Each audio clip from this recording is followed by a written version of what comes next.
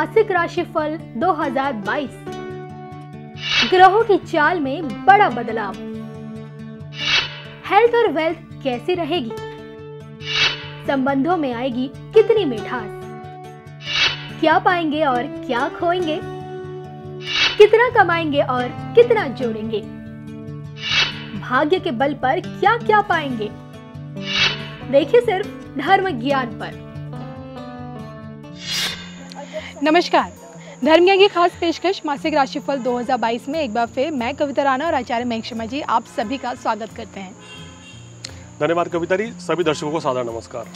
तो इस बार भी हम आपको बताएँगे कि अक्टूबर यानी कि ये आने वाला एक महीना आप लोगों के जीवन में कितना बड़ा बदलाव कितना बड़ा परिवर्तन लेकर आ रहा है।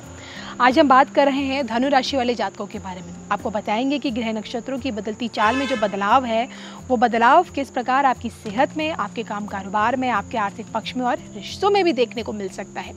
क्या कुछ आप हासिल कर पाएँगे इस महीने? भाग्य के सितारों के बल पर भी क्या कुछ आप पाएँगे इस महीने? हर पहलू पर हम हमेशा की तरह इस वीडियो में भी बात करेंगे, लेकिन आइए सबसे पहले शुरुआत हम यहीं से कर लेते हैं। ग्रह नक्षत्रों की स्थिति, मयंक जी, इनके लिए क्या कुछ कहती है? देखिए धनु राशि वालों की कुंडली की बात करें तो इस समय धनु राशि वाले साढ़े सती के अंतिम दौर से चल रहे हैं। जी। और शनि अभी वक्री भी हैं। हम्म। तेईस अक्टूबर को शनि मार्गी होंगे तो इनके लिए धीरे धीरे राहत भरी खबर रहेगी। और जैसे जैसे समय बीतेगा तो इनकी साढ़े सती भी उतरेगी और राहत भरी खबर इनके लिए रहेगी। बिल्कुल। तो देखिए पहले भाव में आपके कोई ग्रह नहीं है। दूसरे भाव में शनि है तीसरा भाव खाली है। चतुर्थ भाव में गुरु बैठे हैं बहुत सुंदर योग है ये। पंचम भाव में राहु है छठे भाव में मंगल है। सप्तम अष्टम और नवम भाव खाली दशम भाव में बुद्ध शुक्र और सूर्य की युति है। हम्म। दशम भाव में ग्यारहवें भाव में केतु है और बारहवें भाव में आपके इस महीने चंद्रमा रहेंगे। ये एक अक्टूबर की कुंडली है प्रातःकालीन की। हम्म। उस समय जो ग्रह जहाँ बैठा था हमने उस तरीके से कुंडली तैयार करी है। हम्म। और दर्शकों को ये भी बता दें ये जो राशिफल हम बताते हैं ये चंद्र राशि के ऊपर आधारित होता है।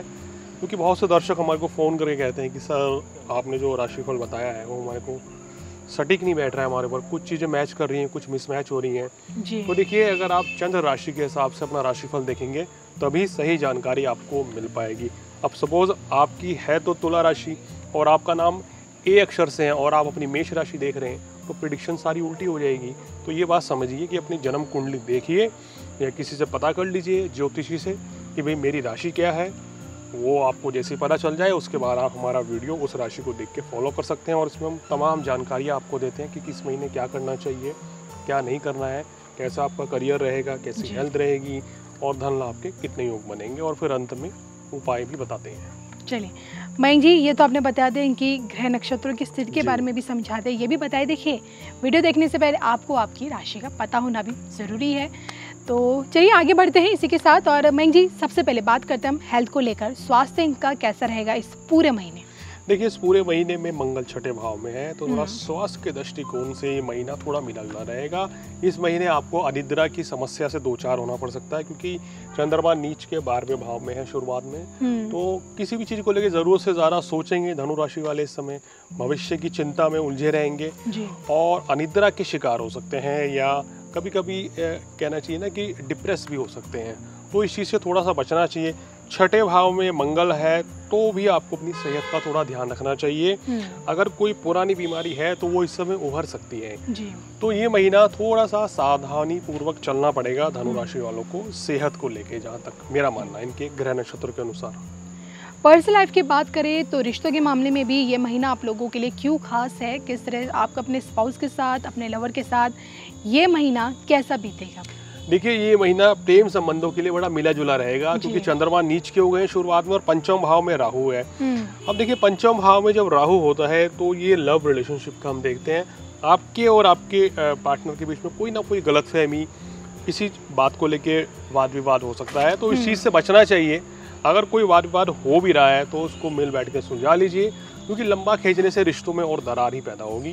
तो इसलिए उस चीज़ से आपको बचना चाहिए क्योंकि राहु यहाँ पंचम भाव में कोई ना कोई गलत फहमी पैदा करा सकता है।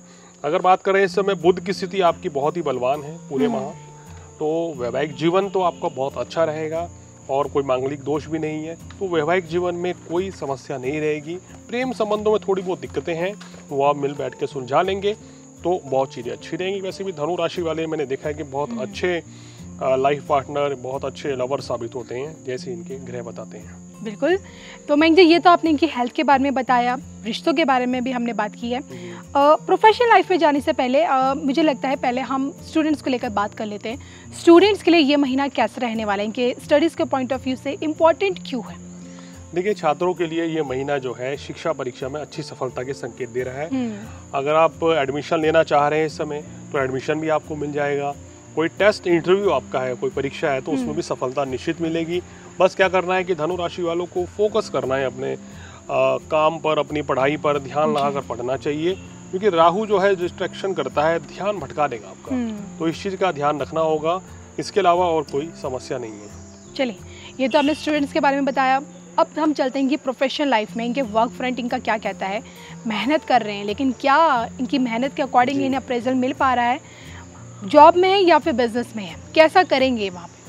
देखिए इनको मेहनत के अनुरूप इस महीने बड़ा अच्छा लाभ मिलेगा क्योंकि दशम भाव में सूर्य बुध और शुक्र की युति है। जी। तो जो करना चाहते हैं उस महीने उसमें आपको निश्चित रूप से सफलता मिलेगी। हम्म, अगर आप नौकरी बदलने की सोच रहे हैं तो उसके लिए भी ये महीना काफ़ी अच्छा रहेगा। दशम भाव में सूर्य है हम्म, कार्य क्षेत्र में आपको लाभ देते हैं तरक्की होगी व्यवसाय में भी लाभ मिलेगा बिज़नेस भी आपका अच्छा चलेगा और इस महीने अच्छा खासा लाभ भी आपको होता हुआ नज़र आ रहा है।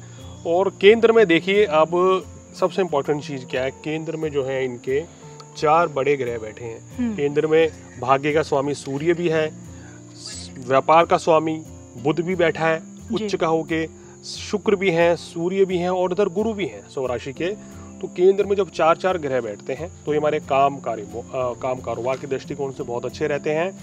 प्लस क्या है कि आपके सुख साधनों में भी गुरु यहाँ वृद्धि करते हैं। तो कुल मिलाकर आपके लिए अच्छा समय रहेगा। चलिए, मयंक जी, यही लाभ क्या इन्हें आर्थिक लाभ भी पहुँचाएगा? मतलब कितना कमाएँगे कितना जोड़ पाएँगे जो ये सोच रहे हैं खरीदारी करने की क्या ये महीना इनके लिए ठीक है उसके हिसाब से? देखिए आर्थिक पक्ष काफ़ी अच्छा रहेगा हम्म, क्योंकि अभी ग्रहों की स्थिति इनको अच्छे धन लाभ के संकेत दे रही है। शनि जैसे मार्गी हो जाएँगे तो फिर और भी अच्छा रहेगा। जी। तो इसलिए इनका शनि की दृष्टि लाभ स्थान पे भी है लाभ स्थान में केतु भी है। सूर्य आगे लाभ स्थान में आ रहे हैं हम्म। सत्रह तारीख से वो भी अच्छा है। तो मैं तो कहूँगा कि इनके लिए पूरा महीना ही ओवरऑल अच्छा है। तो इस महीने का पूरा पूरा फ़ायदा उठाएँ। धन संचय के भी योग बनेंगे पैसा काफ़ी आएगा भी। चलिए अब तक हमने मयंक जी से जाना आपकी हेल्थ के बारे में वेल्थ के बारे में पर्सनल और प्रोफेशनल लाइफ के बारे में हमने डिस्कस किया है। अब हम जान लेते हैं किस्मत आप लोगों की कितनी साथ देगी भाग्य के बल पर इस महीने आप क्या कुछ अचीव कर पाएँगे बताइए। देखिए भाग्य का स्वामी दशम भाव में है तो भाग्य पूरी तरीके से साथ देगा। हम्म, और गुरु भी शुभ स्थिति में है राशि के स्वामी बुद्ध भी शुभ स्थिति में है। नब्बे से पचानवे फ़ीसदी भाग्य साथ देगा। बस इनको करना है क्या मेहनत करनी है जी हम्म। तोड़ मेहनत करें तो निश्चित रूप से लाभ भी उतना ही बड़ा मिलेगा। जाते जाते उपाय भी बता दीजिए। उपाय के तौर पे अगर इस महीने आपको किसी भी तरह की कोई हेल्थ इश्यूज़ आ रहे हैं तो आप हनुमान चालीसा का नियमित पाठ करें। हम्म, मंगलवार के दिन बजरंग बली जी के दर्शन करें मंदिर में जाके उनको बूंदी का लड्डू चढ़ाएँ विशेष लाभ मिलेगा। और साथ ही साथ सोमवार के दिन शिवलिंग पर आपने बेलपत्र चढ़ा के आने हैं शहद हम्म। चढ़ाना है। जिससे आपको हर तरह की परेशानी से छुटकारा मिल जाएगा और मानसिक तनाव से भी आपको बड़ी राहत मिलेगी। चलिए तो ये आज हमने मयंक शर्मा जी से जाना, देहरादून से कि अक्टूबर का ये महीना धनु राशि वाले जातकों के लिए, यानी कि आप लोगों के लिए क्या कुछ लेकर आ रहा है। इसी के साथ मुझे और मयंक जी को दोनों को दीजिए इजाज़त, नमस्कार।